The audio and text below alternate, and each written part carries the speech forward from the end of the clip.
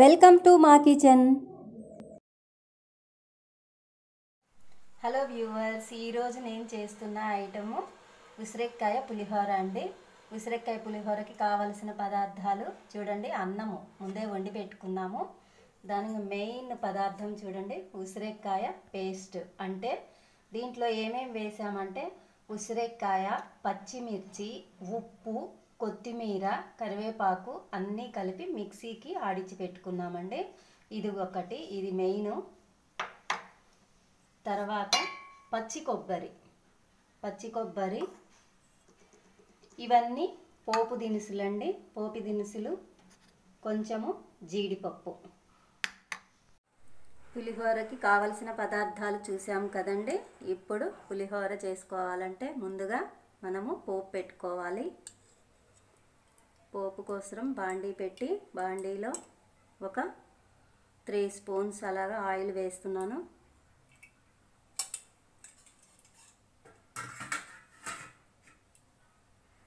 Oil heat ఎక్కిన తర్వాత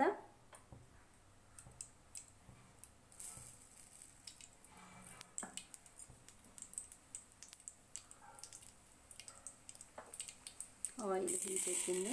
చూడండి మినప్పప్పు ఆవాలు.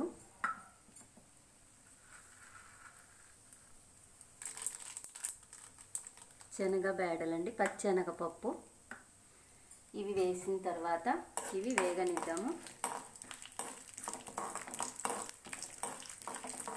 నిమ్మకాయ పులిహోర చింతపండు పులిహోర అన్నీ చేస్తుంటాం కదా ఇది ఉసిరేకాయ పులిహోర కార్తీక మాసం స్పెషల్ అండి. బాగుంటుంది టేస్ట్.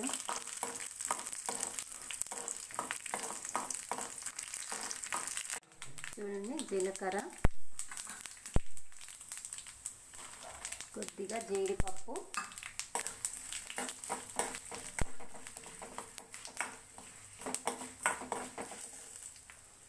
దీనికి అన్నానికి సరిపడా ఉసిరికాయ పేస్ట్ వేస్తున్నాను.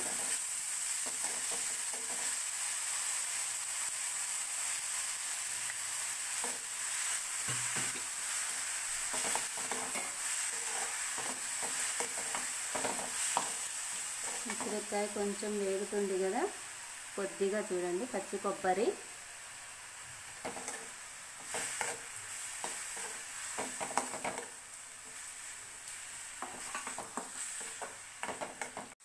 చూడండి ఈ పేస్ట్ వేగిపోయింది కదా ఇది వేగిపోయింది. దీన్ని తీసుకొని మనము ఇప్పుడు ఈ అన్నం మీద పసుపు వేసినాము కదా దీంట్లో వేసేసుకుందాము.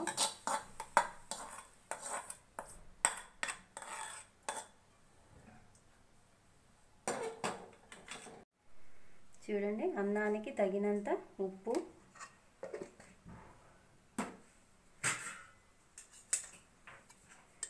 తగినంత ఆయిల్.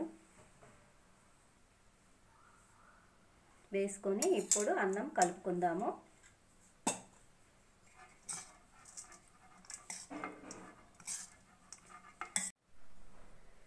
చూడండి ఉసిరికాయ పులిహోర రెడీ అయిపోయింది. చూడండి కొత్తిమీర కరివేపాకు ఏమీ కూడా కనిపించదు. పిల్లలు బాగా ఇష్టంగా తింటారు.